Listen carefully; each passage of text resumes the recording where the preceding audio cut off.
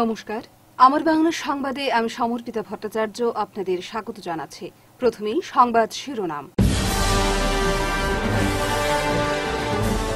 বরাক উপত্যকা থেকে রাজ্যসভায় প্রার্থিত্ব চাই। শিলচরে দশ ঘণ্টার প্রতীকী অনশন।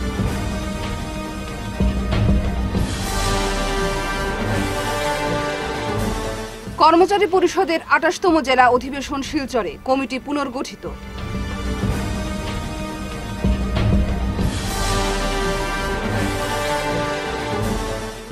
অভিনব বিজি বলের প্রথম টুর্নামেন্ট শেষ। শীঘ্রই স্বীকৃতির আশায় আবিষ্কারক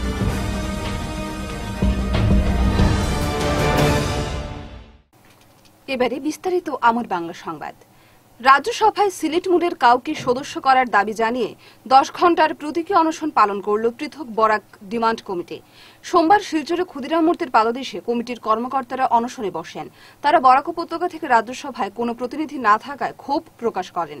দেশভাগ ও গণভোটের শিকার বরাক উপত্যকার সিলেটি হিন্দুরা বিভিন্নভাবে বঞ্চিত হয়ে রয়েছেন। তাই এখান থেকে প্রতিনিধি দাবি করা হয়েছে। এ ব্যাপারে অনশন স্তরে বসে পৃথক বরাক ডিমান্ড কমিটির কর্মকর্তা শুভদীপ দত্ত জানান, এবার রাজ্যসভায় আসাম থেকে দুটি আসনে ভোট হবে। এতে বরাক থেকে একজন সিলেটি হিন্দুকে রাজ্যসভায় মনোনীত করার দাবি জানান তিনি। আমাদের রাজ্যসভায় আমাদের প্রতিনিধি চাই এই সিলেট মূলত। আপনারা জানেন যে আমরা শুধু দেশভাগের বলি নয়, আমরা গণভোটেরও শিকার। এবং সেই দেশভাগ এবং গণভোটের শিকারের কারণে উনিশশো ছাপ্পান্ন সালে ভারত সরকার আমাদেরকে রাজ্যসভায় প্রতিনিধি করার জন্য মূলত সিলেটি হিন্দুদের পক্ষ থেকে এখানে যারা রয়েছেন, তাদের থেকে একজনকে দেওয়া হয়েছিল।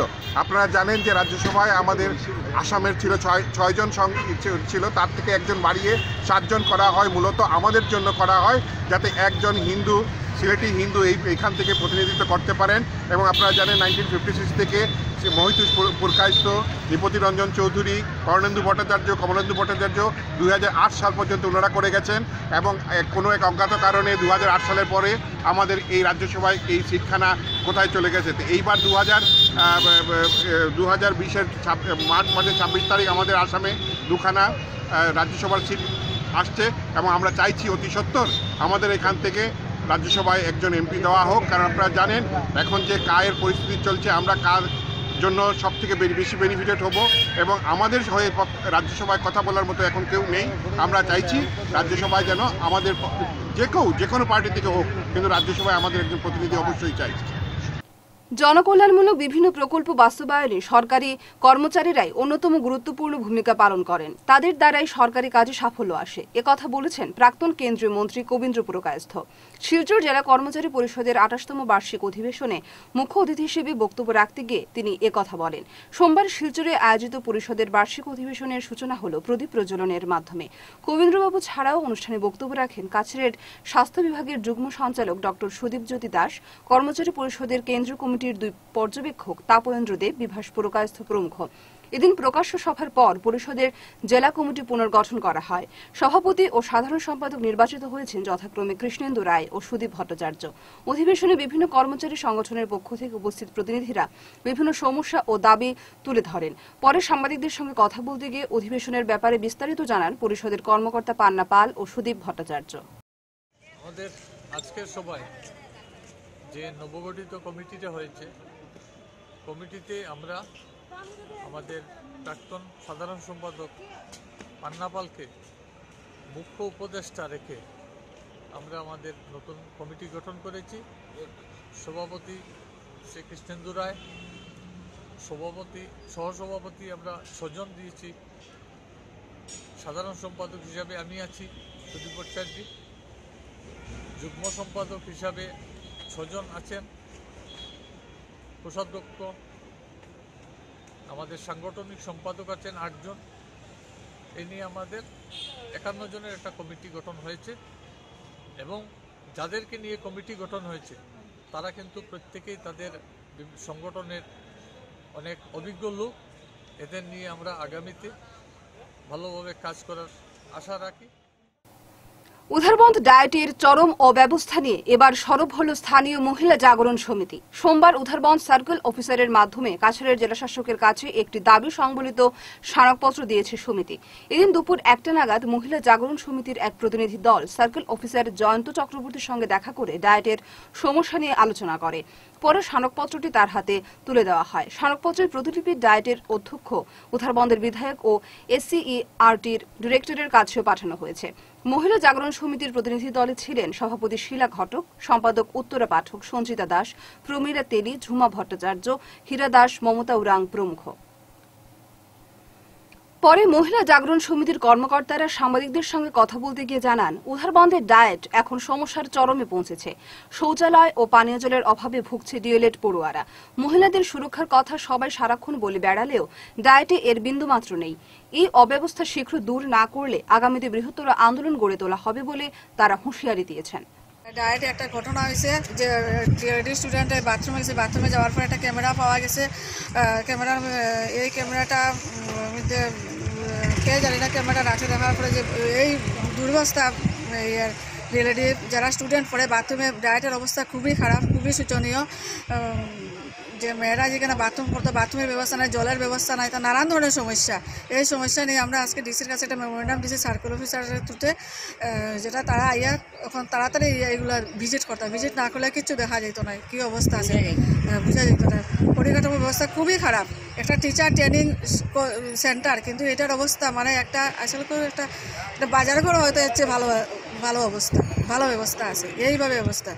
মানে আর যা আমরা প্রিন্সিপালের সাথে আজকে আলাপ করলাম প্রিন্সিপাল বলা, এটা তো গভর্নমেন্টের ফান্ড তার কোনো কিছু করার না তার এটা পার্সোনাল কোনো কিছু না তার হাতে ফান্ড আসে না, তার হাতে ফান্ড থাকলে তো এই ওই ফান্ডের টাকা ওই ফান্ডে ঢুকাইতে পারতা, তাই এটা এটা কোনো কিছু ইয়ে করতে পারে না এটা তার কোনো কিছু করার না তো আমরা আগে বলে, মেয়েরা তো সুরক্ষিত থাকতো।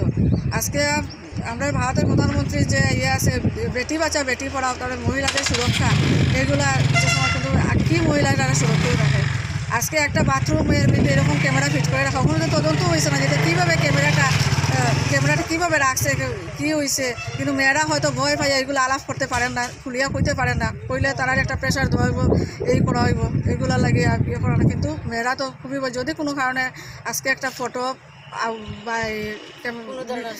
ভিডিও ভাইরাল হয় এ হয় তখন মেয়েরা ওরা সমান হয়ে যাবে। পুলিশ ও প্রশাসনকে বুড়ো আঙুল দেখিয়ে উধারবন্দে অবাধে ইট পাচার চলছে। এলাকার ঘুঙ্গুরবন্দের সুরজ ইটভাটার ওপর আদালতের স্থগিতাদেশ রয়েছে। কিন্তু তারপরও পানগ্রাম জিপির তিনবারের আঞ্চলিক পঞ্চায়েত সদস্য রাজমণি গোয়ালা সেখান থেকে ইট পাচার করছেন বলে স্থানীয়রা অভিযোগ করেছেন। জাকির হোসেন, অমিত পাল, দেবজ্যোতি নাগ, সতীরাম গোয়ালারা জানান, সুরজ ইটভাটার মালিক ইন্দাল সিং এর সঙ্গে তারা এই ব্যবসার অংশীদার ছিলেন। ইন্দাল সিং ইটের নাম করে বহু মানুষের কাছ থেকে অগ্রিম টাকা নিয়ে পরে পালিয়ে যান। দীর্ঘদিন ধরে তিনি পলাতক থাকায় এ নিয়ে আদালতে একটি মামলা দায়ের হয়। পরে আদালত এই ইটভাটার উপর স্থগিতাদেশ জারি করে। কিন্তু বর্তমানে আদালতের নির্দেশকে অমান্য করে অবাধে সেখান থেকে ইট পাচার চলছে। রাজমণি গোয়ালার সঙ্গে পুলিশের সুসম্পর্ক থাকায় তারা ব্যবস্থা নিচ্ছে না বলে অভিযোগ তাদের। তো এক মাস যাবত এটা লইয়া এই মানে এই বাট্টার ব্যাপার লইয়া আমরা মানে ফাইট করলাম। থানার কাছে আমরা প্রশাসনের কাছেও যাইতেছি। প্রশাসন আমরা খালি বারবার বাউতা দেয় যেখানে কোনো মালপত্র উঠেন না কোনো কিছু উঠেন না। আর এখানে বাট্টাত আমরা আইনত আমরা বাট্টার মালিকানা আছি আমরা বাট্টার লগে আমরা টাকা পয়সার বহুত কিছু জড়িত আছে। থাকা সত্ত্বেও থানার আমরা কোনো সহযোগিতা পাইতেছি না। থানার কাছে গেলে থানায় ওসি স্যারের সেকেন্ড অফিসারের কথা কয় সেকেন্ড অফিসার ওসি স্যারের কথা কয় কিন্তু স্পটে ইয়েটা ভিন্ন। এটা আপনারা প্রেসের মাধ্যমে দেখতে পাইতেছেন। যেটা দিন রাত্রে মাল বাইরেতেছে আজকে এক মাস যাবত এইগুলা থানায় এইগুলা চান্স দেওয়া যাইতেছে। এক মাস যাবত বাইরে এই হালে মাল বাইর করা। আচ্ছা। কোর্টে এক মাস দিয়ে অর্ডার দেয় কোর্টে একরকম অর্ডার দেয় থানায় এটা কোনো ইয়ে করতেছে না। কোর্ট থেকে কোনো কপি আইসি আইসে ইনজাংশন কপি আইছে দুইটা। টেটাসকো আইছে ইনজাংশন আইছে। দুই ধরনের কপি আইছে কিন্তু থানা- থানায় এটা কোনো ইয়ে করতেছে না।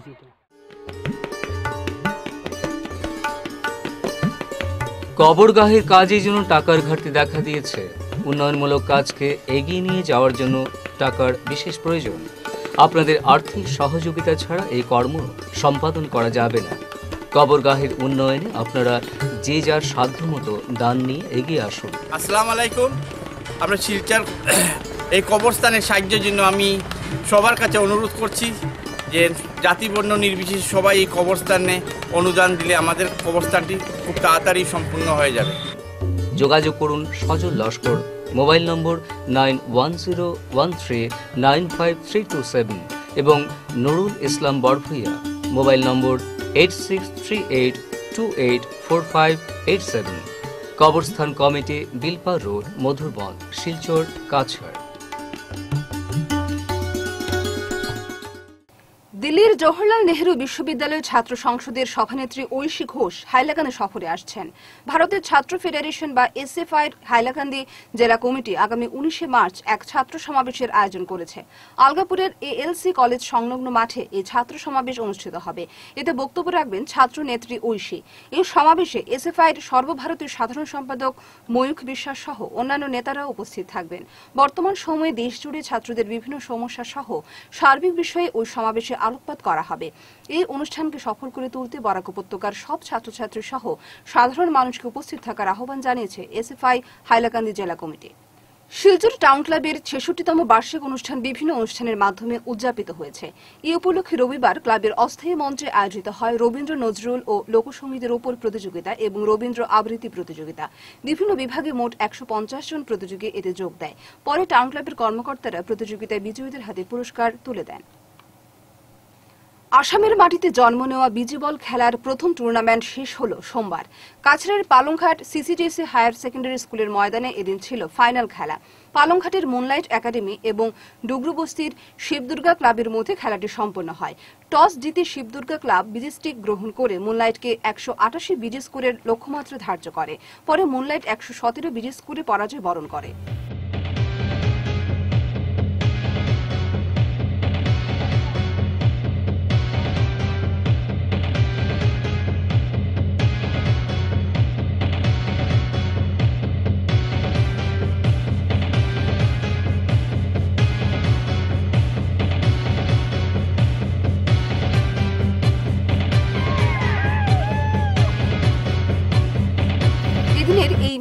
খেলাটি উপভোগ করতে মাঠে উপস্থিত ছিলেন সোনাই পুরসভার সভাপতি আনোয়ার হোসেন লস্কর, পালংঘাট গ্রাম পঞ্চায়েত সভাপতি শশাঙ্ক শীল, ভেটেরিনারি অফিসার শাহানারা তৌফিক বিজয় বলের আবিষ্কারক ফখরুল ইসলাম লস্কর প্রমুখ। পরে বিজয়ী ও রানার্স দলের খেলোয়াড়দের হাতে ট্রফি তুলে দেন উপস্থিত অতিথিরা।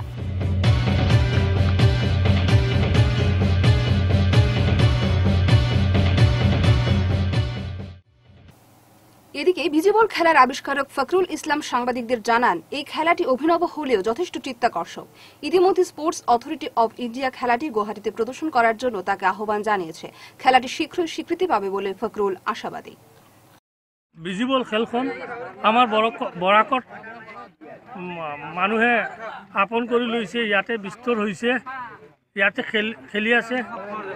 আৰু মই আশা কৰোঁ এই খেলখন অতি সত্তৰ অসমত জনপ্ৰিয়তা লাভ কৰিব তাৰপিছত নৰ্থ ইষ্টত লাভ কৰিব সমান্তৰালকৈ ভাৰতবৰ্ষ ভাৰতবৰ্ষৰ বিভিন্ন ঠাইত জনপ্ৰিয়তা লাভ কৰিব। আমাৰ খেলখনৰ কথা শুনি স্পৰ্টছ অথৰিটি অফ ইণ্ডিয়াৰ আমাৰ অসমৰ ডিৰেক্টৰজনে আমাক মাতিছে আমাক যাবলৈ দিছে। আমি তেখেতৰ ওচৰত গৈ আমাৰ খেলখনৰ ডিটেইলছ দেখাম। তাতে আমি প্ৰমোশ্যনেল ইভেণ্ট কৰিম, গুৱাহাটীত ইভেণ্ট কৰিম বুলি আমি ভাবিছোঁ প্ৰমোশ্যনেল ইভেণ্ট কৰিম।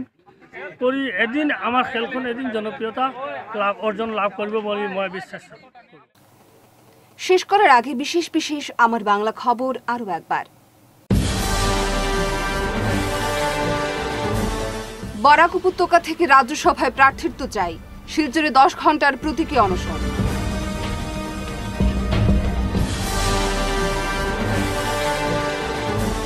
কর্মচারী পরিষদের আঠাশতম জেলা অধিবেশন শিলচরে কমিটি পুনর্গঠিত।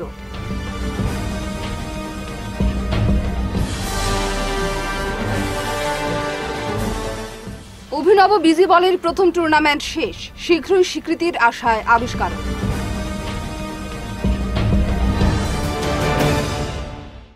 এখনকার মতো আমার বাংলা সংবাদ এ পর্যন্তই। নমস্কার।